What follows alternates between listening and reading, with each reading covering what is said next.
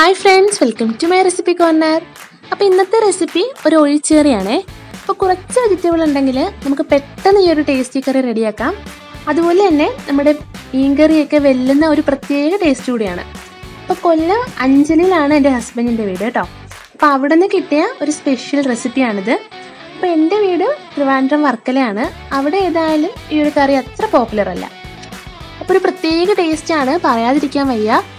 അപ്പോൾ ഇനി കൂടുതൽ ഇൻട്രോ ഒന്നും ഇല്ലാതെ തന്നെ നമുക്ക് വേഗം വീഡിയോയിലോട്ട് പോവാം.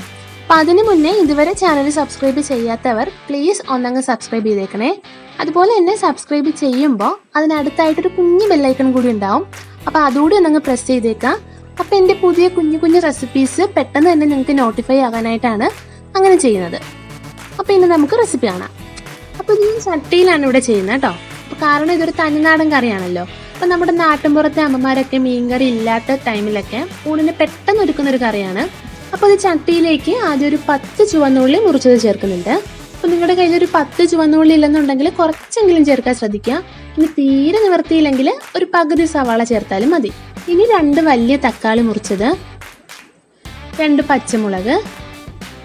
ഇനി ഇതേ ആവശ്യത്തിന് ഇത്തിരി വെള്ളം കൂടി ഒഴിച്ചു കൊടുക്കാം. ഇനി നിങ്ങൾക്ക് വേണമെങ്കിൽ കയ്യിലുള്ള ഏതെങ്കിലും വെജിറ്റബിൾസ് കൂടി ആഡ് ചെയ്യാം. അപ്പോൾ വെജിറ്റബിൾസ് ആയത് ഒരുപാടൊന്നും ചേർക്കരുത്.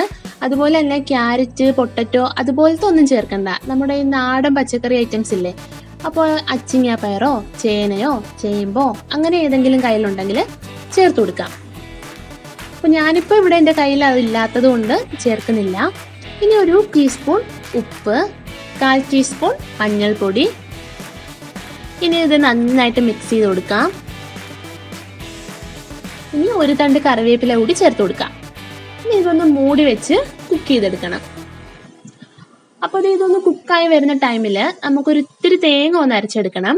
അതിനായിട്ട് ഒരു മിക്സറിന്റെ ജാറിലേക്ക് ഒരു മുക്കാൽ കപ്പ് തേങ്ങ തിരുമിയത് ഒരു കാൽ ടീസ്പൂൺ മഞ്ഞൾപ്പൊടി ഒരു ടീസ്പൂൺ മുളക് പൊടി ഒരു ടീസ്പൂൺ മല്ലിപ്പൊടി കാൽ ടീസ്പൂൺ ഉലുവാപ്പൊടി ഇനി ഇത് ഇത്തിരി വെള്ളം കൂടി ചേർത്ത് നന്നായിട്ട് അരച്ചെടുക്കാം. അപ്പോൾ ഇത് ഇവിടെ നമ്മുടെ ഉള്ളിയും തക്കാളിയും ഒക്കെ ഒന്നങ്ങ് വെന്ത് വന്നിട്ടുണ്ട്. ഇനി ഇതിലേക്ക് ഞാനൊരു വലിയ മുരിങ്ങക്കായും പിന്നെ ഇത് ഒന്നിന്റെ പകുതി കൂടി മുറിച്ച് രണ്ടായിട്ട് കീറി ചേർക്കുന്നുണ്ട്. അപ്പോൾ ഇത് രണ്ടായിട്ട് നെടുകെ മുറിച്ച് ചേർക്കാൻ തന്നെ ശ്രദ്ധിക്കുക.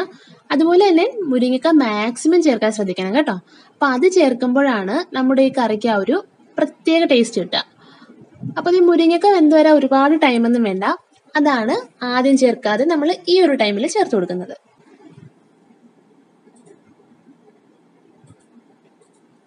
അപ്പോൾ ദേ ഇപ്പം മുരിങ്ങക്കായോട് വന്ന് അപ്പോൾ ദേ ഇപ്പം നമ്മൾ ചേർത്ത മുരിങ്ങക്കായും വെന്ത് വന്നിട്ടുണ്ട്? ഇനി ഇതിലേക്ക് നേരത്തെ അരച്ചു വെച്ച തേങ്ങ ചേർത്ത് കൊടുക്കാം. ഇനി നന്നായിട്ട് മിക്സ് ചെയ്യണം. ഇനി നന്നായിട്ടൊന്ന് തിളയ്ക്കണേ. അപ്പൊ നന്നായിട്ട് തിളയ്ക്കണം. അപ്പോൾ മാത്രമാണ് ആ ഒരു കറക്റ്റ് ടേസ്റ്റ് കിട്ടുക. ഇനി നിങ്ങൾക്ക് വേണ്ടുന്ന ആ ഒരു ഗ്രേവിയുടെ തിക്നെസ് അനുസരിച്ച് നമുക്കിതിനെ തിളപ്പിച്ചെടുക്കാം. അപ്പോൾ ഇതിപ്പോൾ കറിയുടെ തിക്നെസ് ഒക്കെ റെഡി ആയിട്ടുണ്ട്. അപ്പം ഞാനിവിടെ ഫ്ലെയിം ഓഫ് ചെയ്യുവാണേ. ഇനി ഇതിലേക്കൊന്ന് താളിച്ചൂടി ഒഴിക്കാം. അപ്പം അത്രയാവുമ്പോൾ നമ്മുടെ കിടിലൻ തൊടുകറി റെഡിയാവും അപ്പോൾ സൂപ്പർ ടേസ്റ്റ് ആണ്. അപ്പോൾ മീൻകറിയോ ചിക്കനോ ഒക്കെ ഇല്ലാത്തപ്പോൾ നിങ്ങളൊന്ന് ട്രൈ ചെയ്ത് നോക്കുക ഉറപ്പായിട്ടും ഇഷ്ടപ്പെടുക. അത്രയ്ക്കും ആണ്. അപ്പോൾ ഊണിനൊരു കിഡിലും കോമ്പിനേഷനും കൂടിയാണ്. അപ്പോൾ എല്ലാവരും ഉറപ്പായിട്ട് ട്രൈ ചെയ്ത് നോക്കുക കമന്റ്സ് അറിയിക്കാൻ മറക്കല്ലേ. അപ്പോൾ ഇതുപോലെ ഒരു ഈസി ആൻഡ് ടേസ്റ്റി റെസിപ്പി ആയിട്ട് നെക്സ്റ്റ് എപ്പിസോഡിൽ കാണാം. Till then take care and bye